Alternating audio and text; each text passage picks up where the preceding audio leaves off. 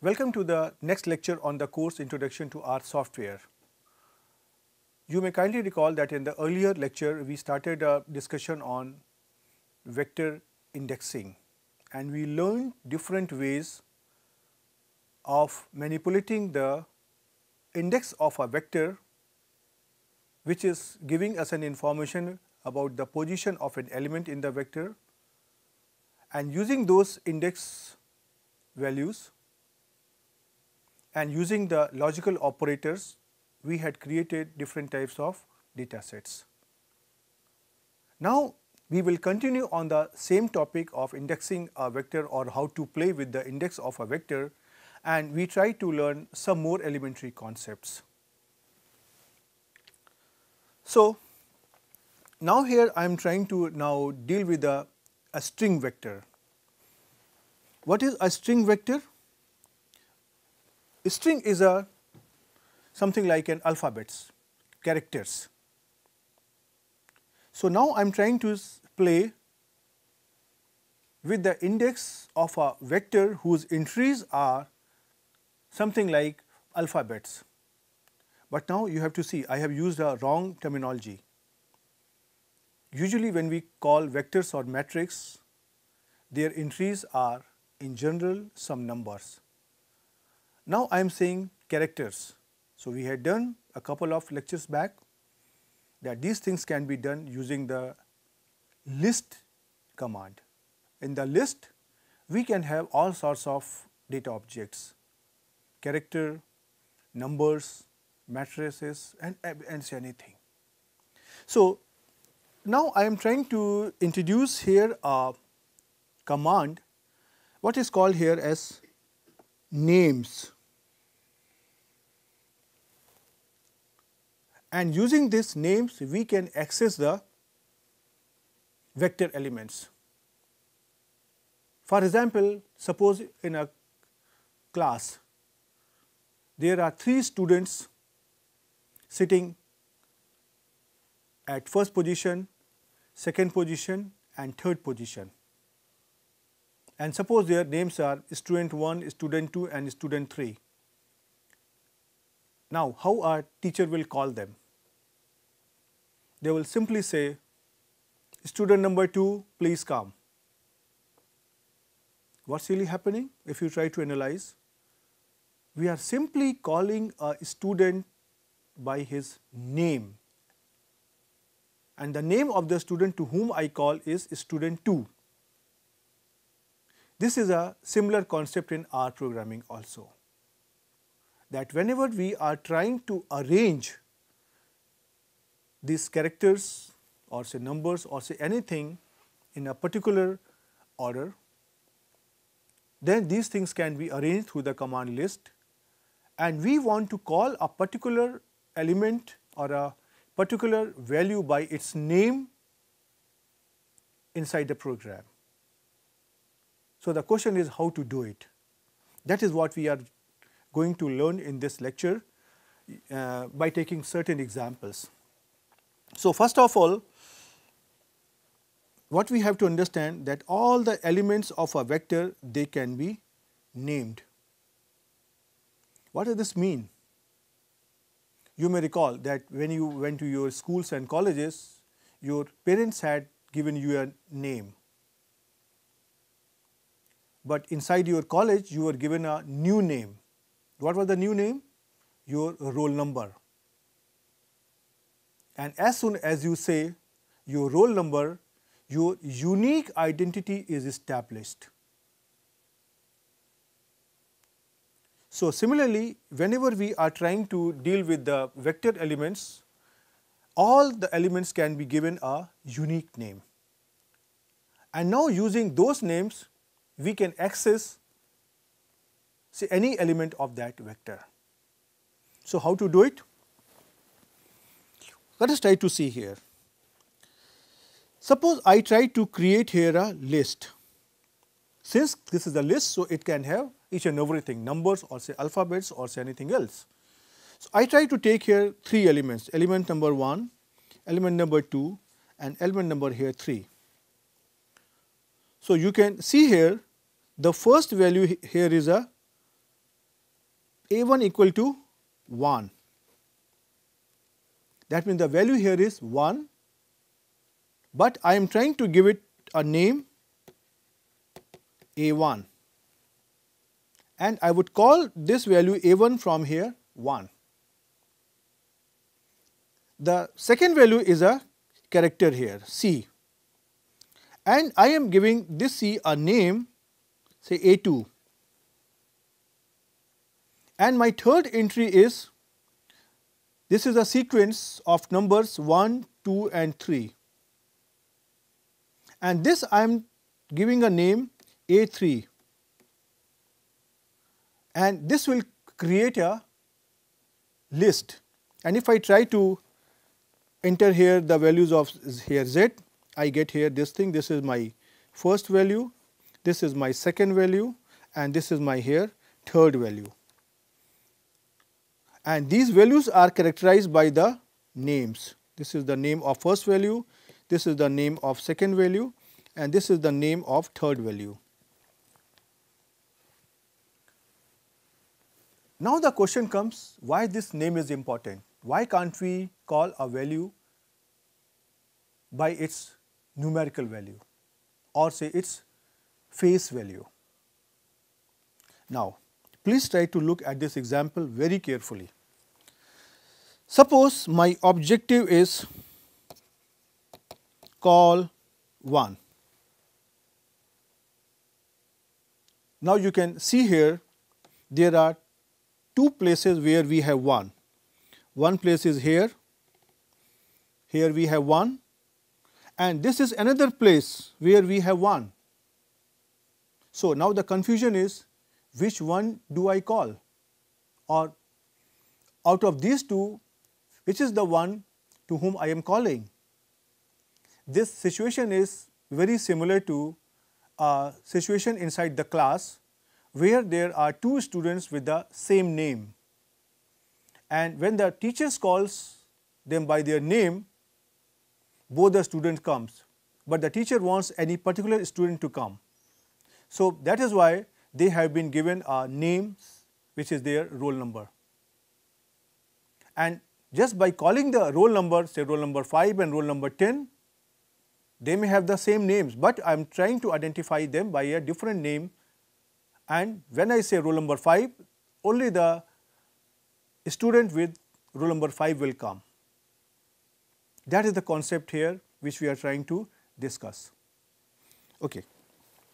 Now, once I have created this list, I would like to know what are their names or in some other language I can say, suppose you have got a list and you want to know what are the names which are given to all the elements. Then I can use here a command names and inside the bracket I will try to write down the variable name which can be anything here in our case this is here z.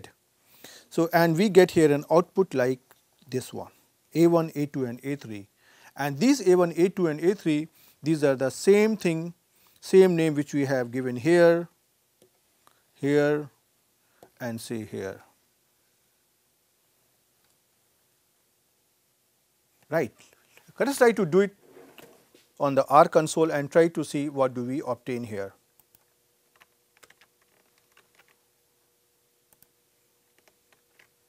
So, you see here I have created the list, same list with the names A1, A2 and A3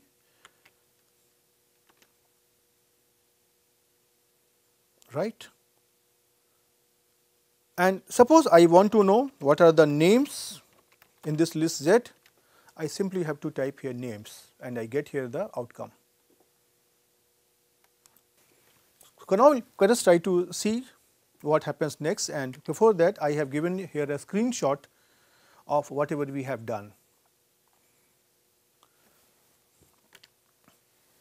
Now, suppose I have created this list and also I have given the names.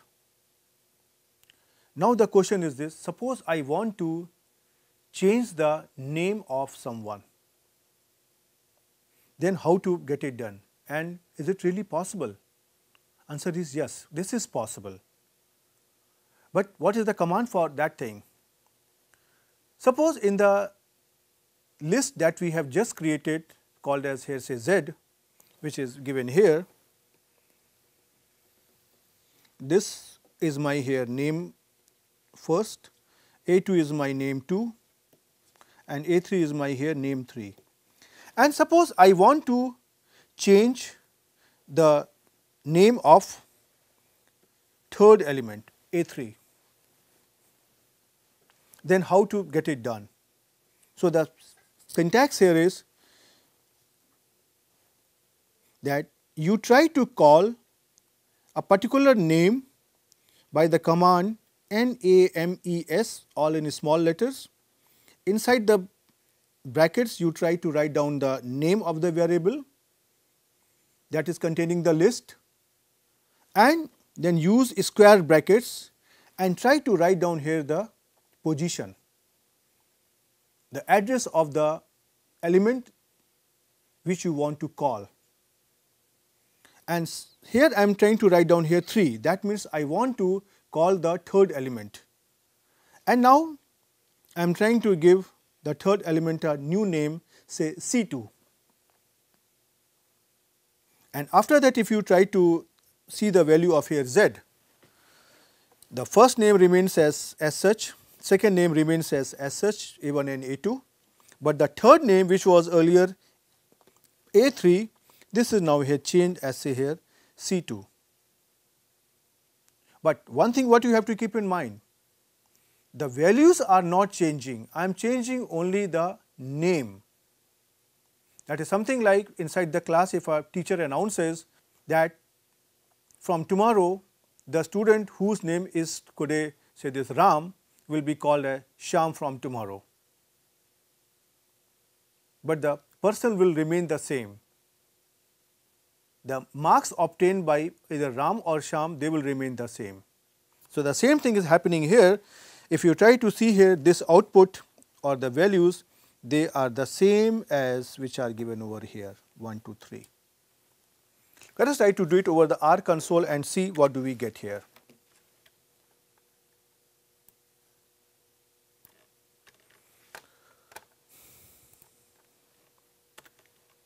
So, I am trying to create here this list. You can see here it has got 3 names. And now I am trying to change here the name here C2 names here C2. Now, if I try to write down here what, what is the value of here? Z. You can see here that earlier it was A3 which I have highlighted on the screen. And now it becomes C2 which I have highlighted on the screen. And suppose I want that the second name may also be changed and suppose I say the name of second and third position value should be the same. So, I can do here the same thing that I can now change the value at the second position and call it here say C2. And suppose I also want to change the name of the first position and let me call it say I want to keep the name Shalabh my name. Now if you try to see what you get when you press here Z. First name becomes Shalabh my name second name C2 and third name C2. Right. Now, let us come back to our slides and now in the next slide I have given the screenshot of the outcome that you can see over here. Now, I try to uh, take here one more example and try to see what we learn from here. Suppose I try to create here a vector by here C, not by list, remember.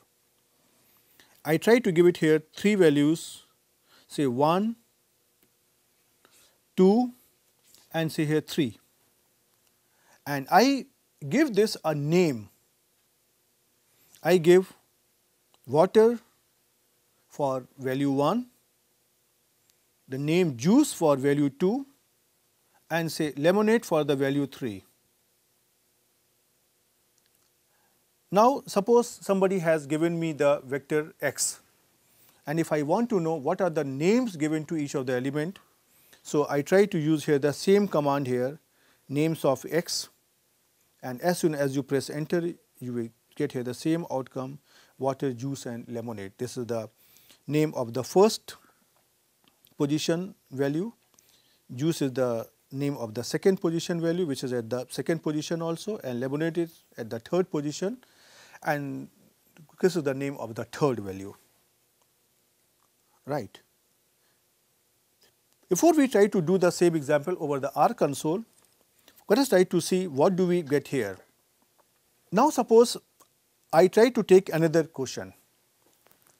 Suppose someone has given me a vector and I know that there is some name as juice, but I want to know what is the value of this name juice. So, what I try to do here is the following. So, first my question is this I know the vector. I know the name.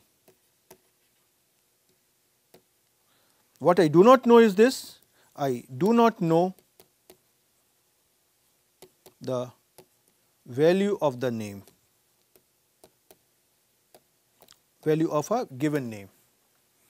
Suppose I want to know what is the value which the name juice is taking. So, I can write down here as follows. Write down the variable name, see here x and since this is a name, this is not a number. So, I try to write down the name inside this double quotes and I try to write down here the name juice and as soon as you enter it will let me know the name is juice and its value here is 2. Let us try to do the same thing over the R console and see what do we get here.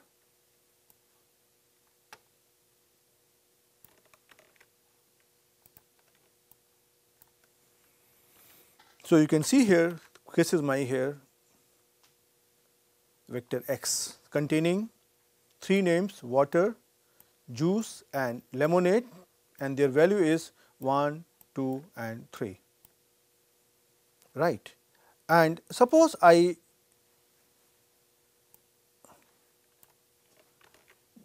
do the following. Suppose I try to find out their names, names of x, this comes here only water, juice and lemonade. And suppose I want to find out what is the value of the name juice in the vector x this comes out to be 2. Suppose I try to give it here a different name. For example, I can say 30, lemonade to be 30, juice to be 20 and water to be 10. And then let us try to see what happens.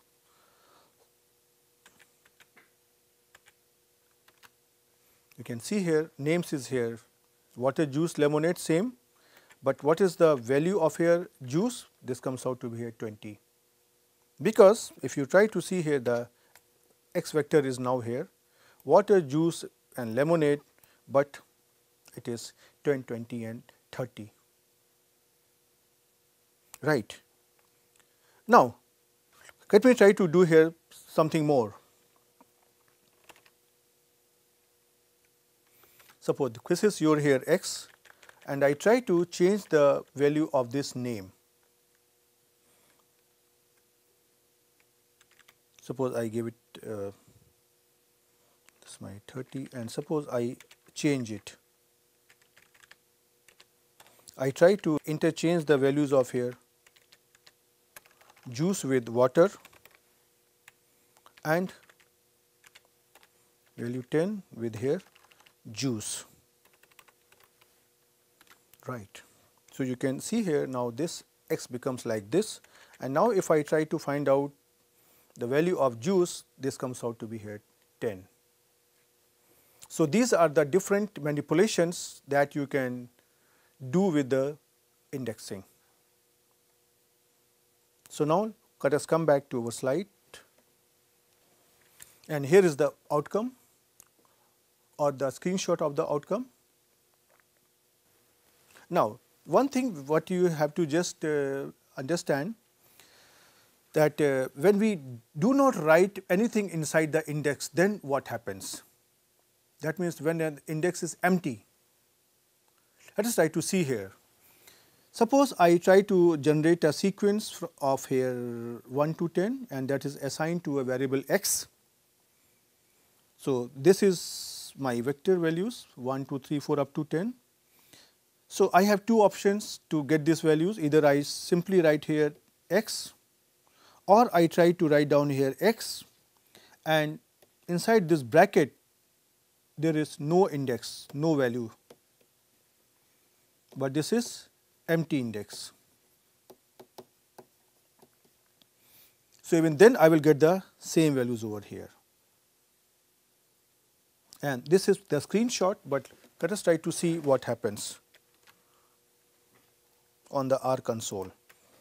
So, if I say here x 1 to here 10, you can see here x comes out to be here like this, but if I try to write down x in the format of an index, but I am not giving here any index, the, the entire sequence comes up. But in case if I try to give it here any value, say here 4, then you will see only the fourth value comes. Or if I try to do here something like combine fourth value and say seventh value and say ninth value, then you see here the three values comes over here. So, this is another thing which you have to keep in mind. And now, let us come back to our slides and try to understand something more. Here now I am going to be take a little bit diversion from whatever I was doing, but it is related to list as well as with uh, syntax. That we have understood that uh, list can be heterogeneous. What do you mean by heterogeneous? That means the entries inside the list can be of different modes. There can be a mixed modes, right. So, the question is that suppose I have got a list and suppose I want to create a matrix, you have to keep in mind one thing that I am not talking of a matrix that contains only the numerical values, but matrix here is something where I can enter the values which have got a particular and unique address. So, I want to create a matrix where there can be anything, some characters or say numbers. So, the question is once I have got a list, can I create a matrix? Answer is yes, but how? So, the steps are as follows. We can start with any heterogeneous list and then I have to mention the dimension of the matrix and this will create a heterogeneous matrix and and in case my list has mixed modes then this matrix is going to be a mixture of numeric and character data. Let us try to take an example and try to understand what I am trying to say here. Suppose I try to create here a list by the name AB and this list have two types of entries. One is numbers and another type is say character.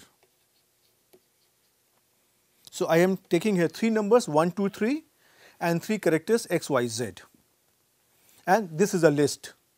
So, altogether there are 6 values, 3 numbers and 3 characters. Now, I try to define what is the dimension of the matrix which I want. Since there are 6 values, the dimension of the matrix can be 2 by 3 or say 3 by 2. So, suppose I try to define the dimension of the matrix as say here 2 and 3 and they are combined with the operator C. So, this 2 is trying to define the number of rows and this 3 is trying to define the number of columns. So, now I am saying here that this list is now converted to something whose dimension are 2 by 3. And now, if I try to see what is the structure of AB, so I try to print my AB and we get here this type of thing. And you can see here that these values are arranged according to the values in the list from 1, 2, then 3, then here 4 and then here 5 and then here sixth value. So, the 1, 2, 3 and the 4th, 5th, 6th values which are here x, y and z. Let us try to do it over the R console and see what do we get over here. Suppose I try to create this list and then I try to give its dimension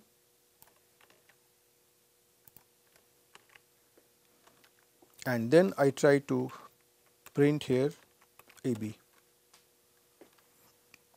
You can see here this comes out to be like this. Now, suppose I change the dimension of AB as say 3 by 2 instead of 2 by 3. So, now if you try to print here AB once again you can see here that the values are arranged in the matrix of 3 by 2 right and the next slide is the screenshot of the outcome. So, now we stop here with this vector indexing and list and on the next turn we will try to take up some other issues. My request to all of you is that you try to take some example and try to practice it over the R console. Unless and until you type these commands yourself over the R console, try to play with the R software and try to see that how the outcomes are coming and are they really matching with what you thought. This will really enrich your knowledge. In order to write a good program, we have to understand what computer is doing, how our computer thinks. And once the thinking process or the th thinking steps of computer and our match, we can do a good programming. And whatever we have done up to now, these are very small ingredients of programming. This is just like if you want to cook uh, good food, there are different types of spices. So, you can cook a good food only when once you know the taste of each and every spice and that will give you a good dish. Similar is with the programming also. So, you learn how to cook a good dish. Till then, goodbye.